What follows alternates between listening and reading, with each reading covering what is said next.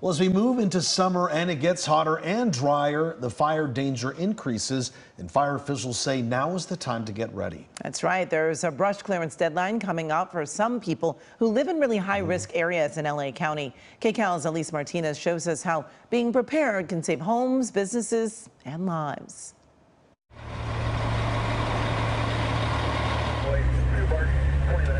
LA County firefighters are getting ready to inspect homes and properties in coastal areas. Notices went out back in February. Within our coastal communities starting June 1st, we are going to be performing defensible space inspections to make sure that the property is in fact compliant. Malibu Seafood on PCH is an example of how clearing the brush around your property can ultimately save it. During the Woolsey fire, you know, we did sustain, uh, you know, some damage to the property. We were very fortunate that the majority of the building, uh, as well as the surrounding structures, were spared. Co-owner Ryan Brizendine says his restaurant did its part and firefighters did theirs.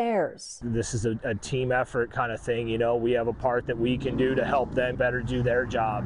The Woolsey fire of 2018 is still fresh on the minds of Malibu residents, business owners, and firefighters. I arrived personally at work thinking I was going to be at work for one 24 hour shift, and I was actually here for six days straight. Hundreds of homes were destroyed and properties damaged. Captain Alex Abdallah of Fire Station 88 says creating defensible space helps them help you. You're buying time is exactly what you're doing. You're buying time. Buying time for firefighters to protect your home or property and your life.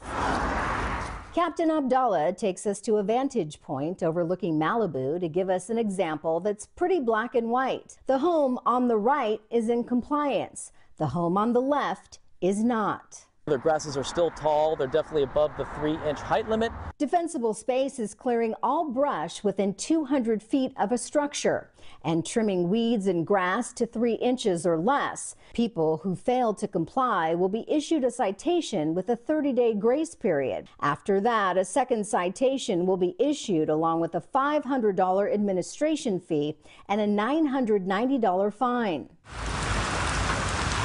The experts say all the rain and snow this winter could make for another below normal wildfire season. But firefighters stress here in Southern California, we can never let our guard down.